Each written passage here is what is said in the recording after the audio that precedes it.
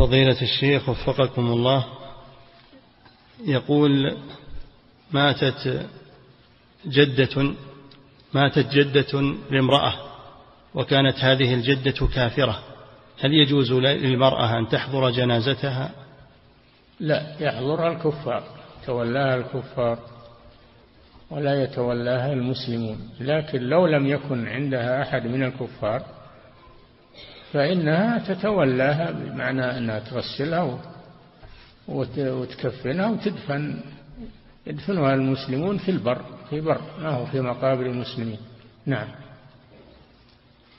فضيلة الشيخ وفقكم. أو لأن التغسيل أيضا ما يصلح لأن التغسيل عبادة ولا يصلح للكافر تلف بشيء وتدفن في في البرية في مكان بعيد عن الطرقات وعن نعم.